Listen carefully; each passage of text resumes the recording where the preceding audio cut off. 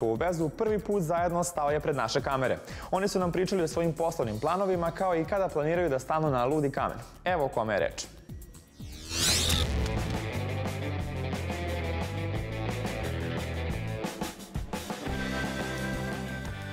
Pre svega kako ste? E, pa dobro smo, stvarno smo dobro, imamo dosta, dosta projekata na kojima radimo. E, Đole to sad kreće turnir, ja opet neke, e, u nekim modeling fazama sam u smislu izbacujem svoj brand, ovaj, radim na autorskoj emisiji, tako da u suštini radno, ali, ali srećno. Pričat ćemo o tome, ali pre svega, e, nedavno ste se vratili iz Dubaja, da li je to bio odmor ili više poslovni put?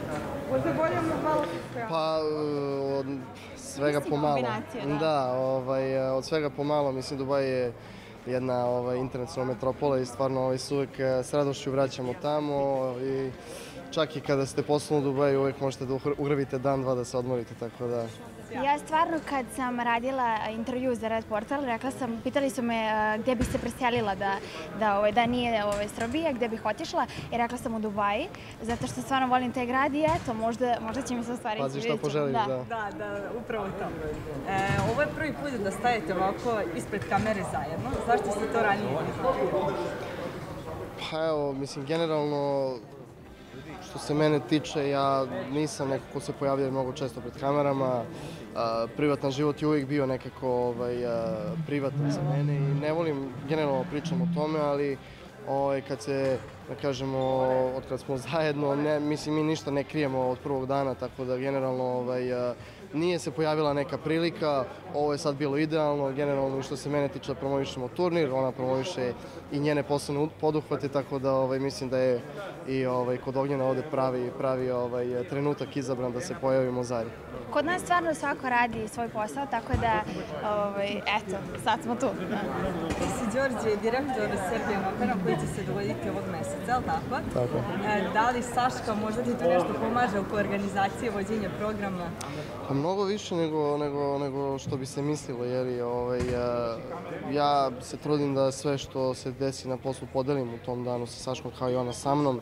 A, ona je neko koji ima ovaj, poslovno iskustvo iza sebe, generalno što se medija tiče i, i, i odnosa sa javnošću, ona je tu meni izuzetno puno pomogla, na čemu sam i naravno i zahvalan, zato što je to za mene jedan, jedan izazov bio i svake godine mi izazov i svake godine učim nešto novo, ali stvarno ovaj, imajući nju kraj mene ovaj, sam, sam uspeo da, da malo sazrim i u tom pogledu, tako da evo za sad ovaj, sve funkcioniše, sve su funkcioniše super, tako da eto, ovaj, jedno drugo podržavam. Ti Saška pokrećeš svoj brend, da li nam možeš nešto više reći o tome, da li je u pitanju garderoba, kozmetika, šminka? Da, u pitanju je garderoba, brand se zove Saš. E, inače, to je e, jedan od mojih najboljih drugova, godinama me zove Saš i to sa dva A. I ovaj, kada, je bila, e, kada je bilo pitanje kako, kako da se zove, nekako je normalan splet okolnosti došao do, do tog imena. Za početak će biti kolekcija kupaćih kostima. E, prvo je bila ideja da bude ženski brend sa samo ženskim kupaćim kostimima, ali nakon toga e, Đorđe je to meni pomogao. Mi smo pre svega prijatelji i pričamo stvarno o svemu. I on mi je pomogao, rekao mi je da muškarci nemaju toliko e, šansi da, da kupe negde kvalitetan kupaći. I meni je dao, da, meni je dao stvarno ideju da proširim i na, na muškarce, a onda kako da decu isključimo iz toga, tako da stvarno će biti za sve.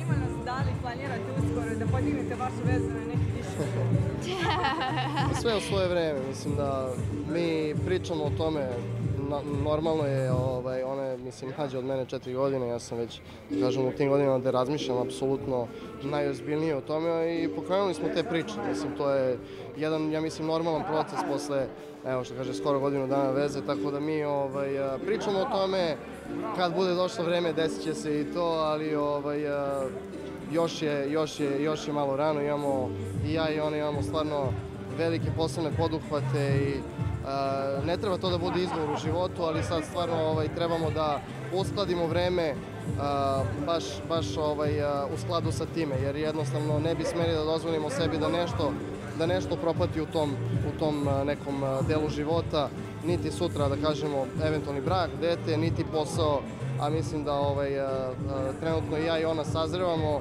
pre svega kao ljudi, a onda i kao par, pa kad bude došlo vreme, ovaj, naravno da će se to i desiti. Ja stvarno imam da kažem da e, ja mislim da će moj najveći uspeh biti da se ostvarim kao majka, ali e, opet sa druge strane e, želim da moje deca jednog dana budu ponosna na svaki moj korak i zato sada radim punom parom da stvarno ostvarim to što želim.